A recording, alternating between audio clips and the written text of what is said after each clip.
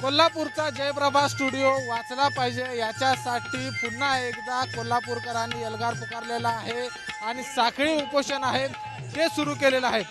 साखळी उपोषणाचा आजचा चौथा दिवस आहे आणि या चौथ्या दिवशी अनोख्या पद्धतीनं आंदोलन आहेत ते केलं जातं आहे कारण भालजी वंदना या ठिकाणी सादर केली जाते आणि झंकार ऑर्केस्ट्राच्या माध्यमातून या ठिकाणी गाण्यांचं सादरीकरण आहे. ते केलं जात आहे. कारण ज्यावेळी हा स्टुडिओ विकण्यात आल्याचं समोर आल्यानंतर या जयप्रभा स्टुडिओला वाचवण्यासाठी पुन्हा एकदा कोल्हापूरकर एकत्र आलेले आहेत. अखिल भारतीय मराठी चित्रपट महामंडळाने या ठिकाणी साखळी उपोषण आहे ते सुरू केलेलं आहे. आज या ठिकाणी जयप्रभा साखळी उपोषण जे चालू आहे त्या उपोषणला आम्ही सुतारबंधू ऑर्केस्ट्रा झंकार गेले त्रेचाळीस वर्ष आम्ही या कलेमध्ये योगदान देत आहोत.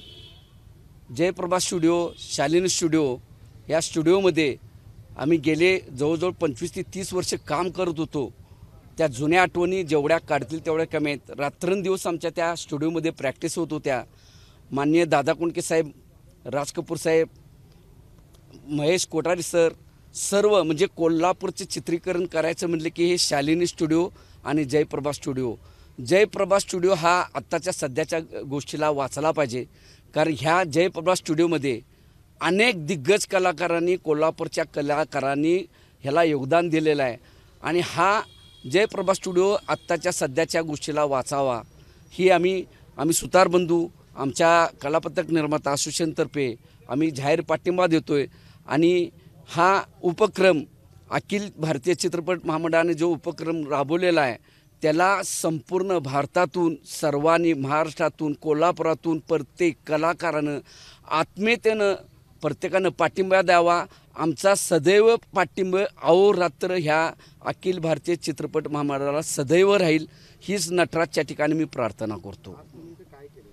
आज या ठिकाणी भालजी वंदनाची जी सुरुवात झालेली आहे आजचा चौथा दिवस आमचं नशीब आम्ही समजतो की भालजी वंदना करायला त्यांच्या जागेमध्ये त्यांच्या पुण्यनगरीमध्ये आम्हाला जी सेवा करायला मिळते आहे आणि हा उपक्रम चालू करण्यासाठी आम्हाला जी सेवा करायची जी संधी दिली हे आम्ही आमचं भाग्य समजतो की भालजी पेंडाकर साहेबांच्या त्या अस्तित्वामध्ये जिनी चित्रपट काय आहे बोलकं चित्रपट काय केलं आणि त्या बोलक्या चित्रपटाला आमच्यासारख्या कलाकारांना तिने बोलायला लावलं आणि त्या बोलक्या चित्रपटाच्या ह्या जागेमध्ये आम्हाला जी सेवा करायला जी संधी मिळते ती निश्चित संयोजकांची मी मनापासून पुन्हा एकदा मी त्यांचे आभारी आहोत.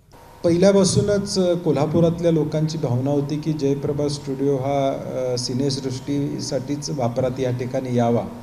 आणि पहिल्यापासूनच लोकांची तशी इच्छा होती.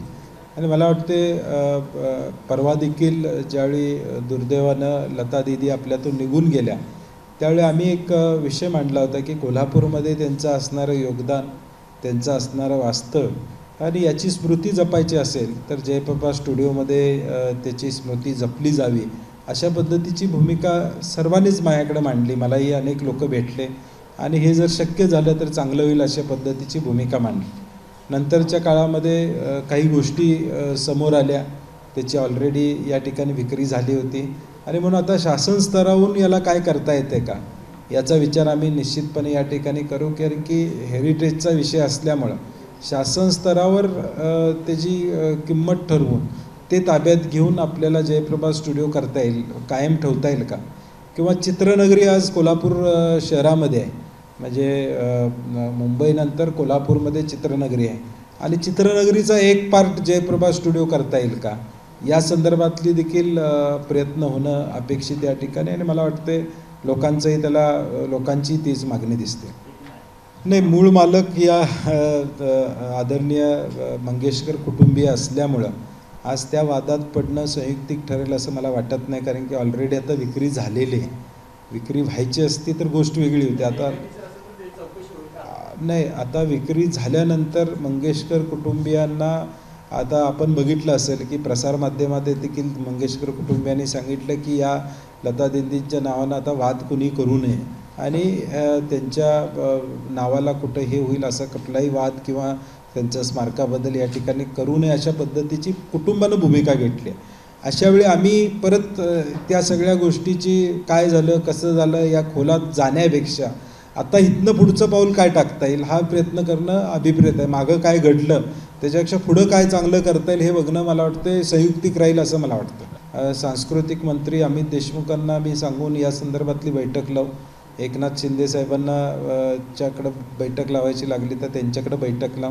पण तो शासन स्तरावर ही बैठक होईल त्यावेळीच कारण की कुठलाही प्रस्ताव मालकांच्याकडून कागदावर आल्याशिवाय त्याच्यावर चर्चा करणं संयुक्तिक राहणार नाही. आणि बैठक लागल्यानंतर त्याची चर्चा पुढे होईल.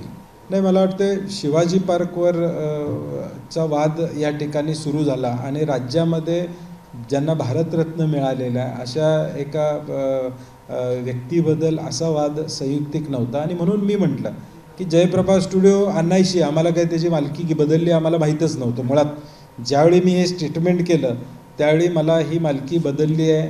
कोण मालक आहे हे अजिबात त्या ठिकाणी माहीत नव्हतं. कारण की त्याच्या आधीसुद्धा माझ्याकडं सिनेसृष्टीतले लोक पालकमंत्री म्हणून वारंवार भेटत होते. त्यावेळी ते मला म्हणत होते की लता दिदींची आपण भेट घ्यावी आणि हे जयप्रभा स्टुडिओचं अस्तित्व ठेवण्यासाठी प्रयत्न करावा. तसा आम्ही प्रयत्न केला. परंतु त्यांची तब्येत आणि कोविडमुळं त्या कुणालाच भेटत नव्हत्या. मी त्यांची भेट मागितली होती. कोविडमुळे त्या कुणालाच भेटत नव्हत्या. त्यामुळे भेट होऊ शकली नाही आणि त्यामुळं ज्या दिवसा ज्या दिवशी मी स्टेटमेंट केलं त्या दिवसापर्यंत त्याची मालकी कुणाकडे तरी आहे हे माझ्या ज्ञानात या ठिकाणी नव्हतं. आणि म्हणून मला वाटते आत्ता ते सगळं समोर आल्यानंतर आता कशा पद्धतीनं पुढं जायचं आपण ठरवू? असं आहे की हा सगळा गुंता फार निर्माण झाला. कुणाकडे मालकी कोण विकतंय आणि काय चाललं आहे स्मारक होणार असेल तर मग सरकार अशा प्रकारे प्रायव्हेटली जरी पैसे देऊन ती तो स्टुडिओ घेतला आहे त्यांच्या हातातून सरकार काढून घेऊ शकते का? का सरकारला त्यांना विनंती करायला लागेल?